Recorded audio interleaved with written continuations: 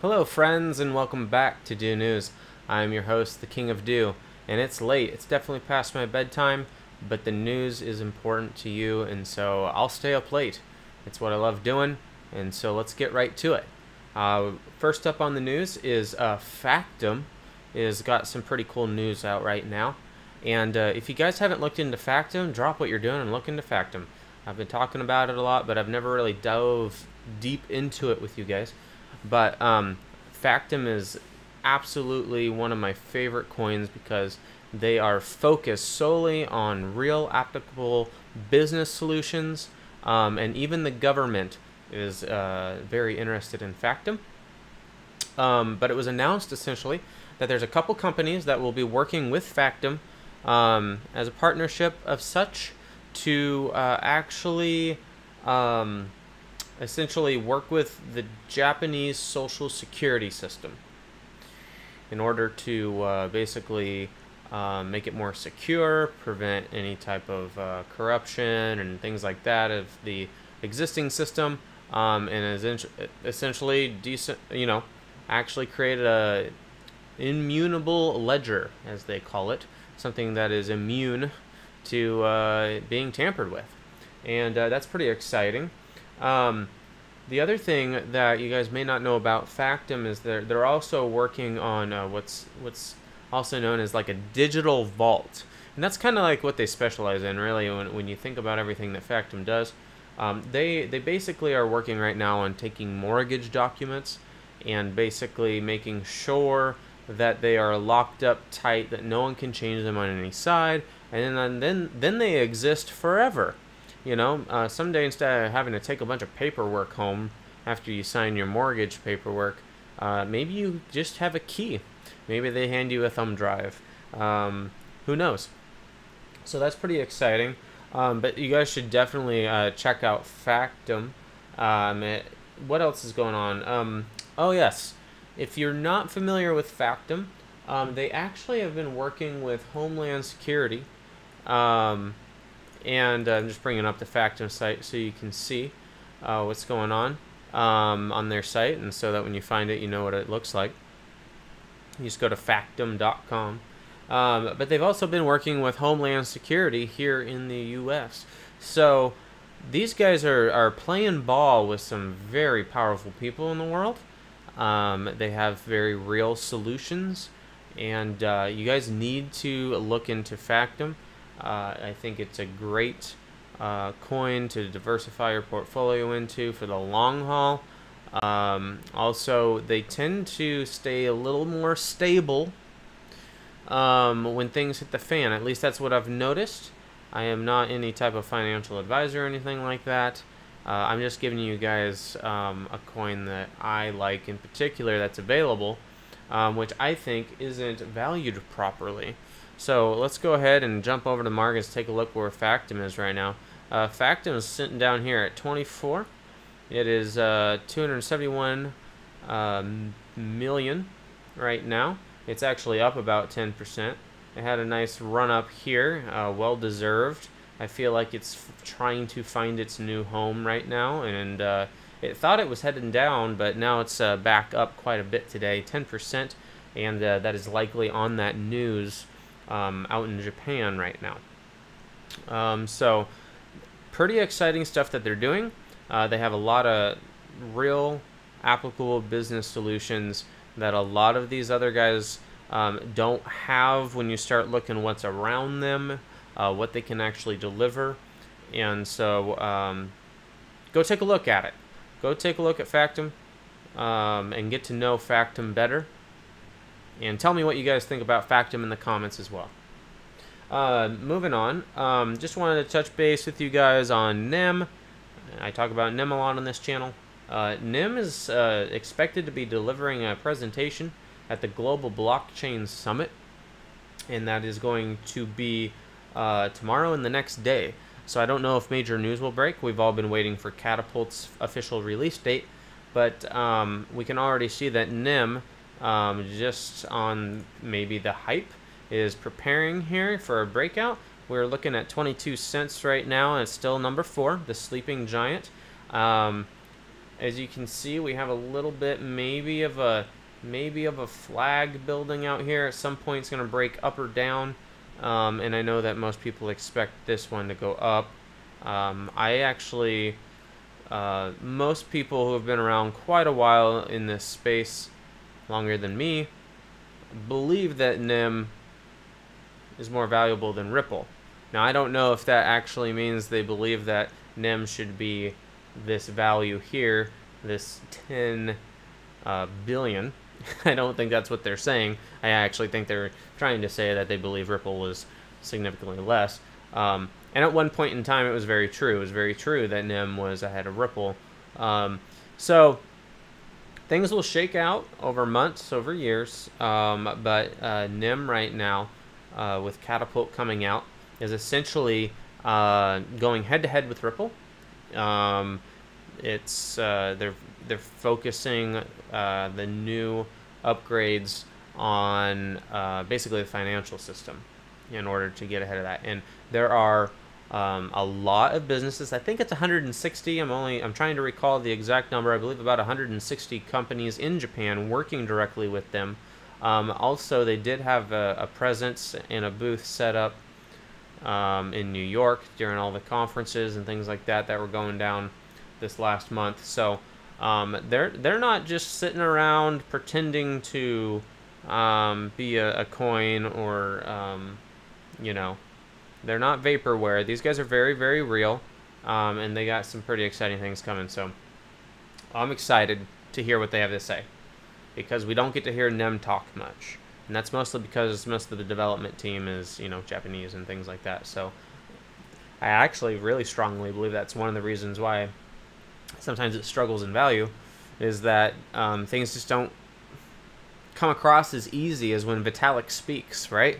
On Ethereum, it's really easy for people all across the world, uh, he, and Vitalik also speaks Chinese, so he can he can do an excellent job explaining and sharing uh, the beautiful thing that is Ethereum. But you know, NEM is NEM. It's a little bit quiet. It really needs some spokespeople to help everyone understand just how good the blockchain that is. Um, so anyhow, be looking for some news. Uh, it looks like the the markets may be preparing already for uh, hopefully some amazing news there. Uh, BitShares has been something we've been talking a lot about. Um, my respect for BitShares has increases um, as I learn more about it. Um, but man, it is volatile still right now. Um, after that big run up, it's lost a little bit of its positioning. It was at one point uh, number uh, eight. Uh, however, I think that um, this IOTA, if you guys heard about this today, this is just a mistake, really. This uh, this new technology. That it seems like they're pumping it everywhere right now. It came out of nowhere. Everyone's asking what it is. Why is it number six? Why is it worth so much? Um, I'm not sure it's six cents, guys. Maybe that's what it traded at at one moment, but it's stuck. If this is turned off, so not really something that you should be putting, uh, you know, your money into right now. It could be a decimal off, to be honest. Yikes. Anyhow, it's like I'm not kidding, guys. Um, let me know if you guys know much about IOTA. I did look into it, watch some some videos on it. I understand what they're trying to do. Um, it's pretty uh, amazing technology, but I also um, I don't have any real validation other than what people are saying about it. Right? I need I need some some reputable community members to validate the code for me to become a believer. And so if you guys have links to anything like that, uh, let me know because that's what I'm looking for on that. Uh, obviously, I'm interested like everyone else. What, what's going on? Why is it out of nowhere? The story they have to tell is pretty amazing. So, IOTA is uh, the Internet of Things coin, and essentially uh, they they claim no transaction costs. that's kind of a big deal.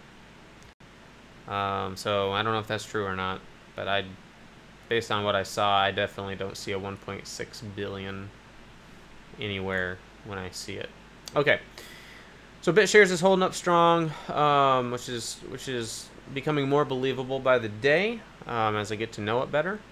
Um, Stratis made its run back up again. Uh, it had you had another opportunity to buy it in the seven range, it's being quite volatile from between about seven and ten dollars right now. Um, so you know if you can pick some up around seven, uh, it seems like that is a, a really strong support. It seems to bounce really hard off that. Um, Zcash um, is making a heck of a run. I was uh, blown away today. Uh, came home and I was like, "What in the world is going on with Zcash?" You can see this run is very this. It's been going on for a while. It's looking very strong. It's hard to see on, on your screen maybe, um, unless you're zoomed in. But uh, we've been making a good strong run uh, for the last few weeks, almost a month now, and it's one to keep an eye out on, guys. Zcash uh, definitely has uh, a lot of advantages. And I've always talked about on this channel how miners have a say and miners have a vote. Well, let me tell you what, miners are mining the crap out of this. Okay? That's all I'll say. Mining the crap out of it. If you aren't mining Ethereum right now, you're probably mining some Zcash right now. Let's be real. So, if that's the case, and miners run the world, right? Miners ran Bitcoin. Miners run um, Ethereum right now, and it's like we have we the miner community has so much power in this space. It, it can't go ignored. Um, and we need to look at this very, very seriously. You guys need to understand Zcash really well. So, uh, besides that, Steemit looking beautiful, up 8%. You guys know I love Steemit. And uh, looking good. So I wasn't planning on doing a market update, but I just kind of got into it there, and uh, it's exciting stuff that's going on. Um, other than that, I just want to talk about Ethereum, guys, because Ethereum right now is uh, closing that amazing gap to essentially become the number one, um, the king uh, coin on the block, and that's really exciting. Uh, I, I saw somebody report that uh, Ethereum essentially is now searched more on Google than Bitcoin. And that just makes my brain hurt. Um, I have a lot of people coming out of the woodworks asking me about this stuff, wanting to know more. Um, and that's awesome. And uh, I hope you guys are sharing the good news. That's for sure. Okay, guys, uh, the other thing I wanted to go ahead and uh, share with you real quick is uh, this right here. Just going to bring it over. Is um, Gemini is now open in uh, Washington, and uh, customers in the beautiful Evergreen State uh, basically can buy, sell, and store Bitcoin and Ether now. Um, now, that may not mean anything to you. You're somewhere on the planet you're like, Washington, Washington, D.C.? No, Washington, the state. That's over by Oregon, over by California. Um, Washington State and New York State essentially have the most uh, regulations, I want to say, in regards to currencies um, in the entire planet Earth. Right? More than any country, anything like that. Poloniex exchange actually left Washington just a few months ago. Literally was like, we're out. Peace out. All you Washington people, we're not going to help you anymore. Shut down all of their accounts. Um, Gemini stepping up to the plate. Um, Bittrex already at the plate. You know, when I when I see all these people complaining about Poloniex and all the trouble that it has, and guys, Poloniex may have been the first exchange, but we all need to understand and be very careful that the the writing is on the wall. Not that maybe they're even doing anything wrong. Okay, I'm not gonna say they're doing anything wrong. Okay, I, I like to believe that everyone tries to do the right thing um, to a degree, and I'd like to believe that they're trying their best. But imagine that you started an exchange, a small tiny exchange called Poloniex years ago, and it is what it is now, this quickly. And do you really have the business chops to problem solve on the amount of scale that all of this is growing? Um, they clearly are not nimble enough. Um, they clearly have some type of challenges around maybe hiring support fa- fast enough, or maybe they actually don't care. Maybe they think it'll blow over. But we all know that that site is what making hundreds of millions or billions. I don't even know. Uh, somebody, somebody, let me know how much Poloniex is raking in every day, please, um, in the comments if you actually know how much Poloniex is making. But I just don't see them being nimble enough. Um, and, and, and, and, and if their reaction to overregulation in a certain state is, well, just screw everyone there, we're out of here what does that what does that mean for you and where you're at? I don't know because every place in this planet is different. But if you're using the exchange, what what's to stop them from saying, "Hey, screw you, we're just not going to help you anymore"? And there's a lot of reports of that kind of mindset out there. That they they seem to be putting off this aura of everyone's really angry at us, and now we're just angry at you, and we're just going to stay that way, and it's never going to get better. Instead of coming out and trying to be consistent with your um, you know, press releases on everything you're trying to do to help and solve and, uh, you know, have goodwill, right?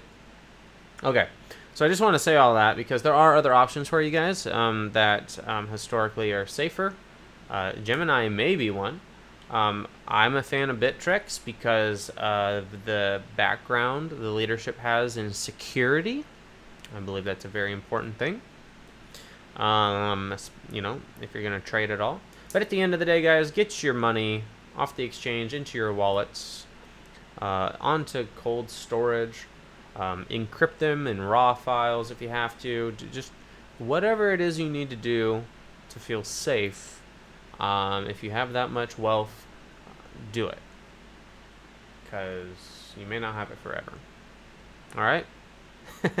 this is a wild, crazy space we're in, guys. You just you just be safe out there. All right, so that's pretty much it. I uh, I want to thank everyone um, for all the votes and likes yesterday on my videos. I, I didn't believe it was my best work, that's for sure. Uh, but uh, I, did what I could, and uh, I am uh, super super busy in my personal life right now. But uh, and that's why it's way past my bedtime. But I'm still doing this because it matters to me um, and you guys matter to me, and uh, I really enjoy the conversations that we're having. So thank you so much. Um, if you actually love this content, or maybe you hate it, either way, give me a thumbs up, give me a thumbs down, whatever you feel is appropriate. Leave a comment. If you have a question for me, if you want to share something with me, if you want me to research something for you, just go ahead and leave it in the comments below. Um, if you uh, um, also are on Steemit, we finally did it. We broke 200. Thank you so much. That is incredible. And now we're cruising to 250. Um, you know, I think we could hit a thousand, maybe. Maybe. Hopefully we can hit a thousand uh, soon. Um, that's kind of like my Steemit goal right now is a thousand. So help me with that, guys, and give me some upvotes over there if you enjoy the content as well. Make sure you subscribe if you want to stick around. And uh, that's pretty much it for me today with the news. So, um, as always, guys, I appreciate you so much. I'm looking forward for Ethereum to, uh, to cross over that uh, great mark of becoming the king coin, and you know I'll be here for you, uh, bringing you that news when it happens. That'll be an exciting day for the Ethereum holders. Um, it'll be a fascinating day for the markets and how they respond, if at all. All right. So, with all that being said, guys, I am the King of Dew. May the force be with you. You guys have a good night.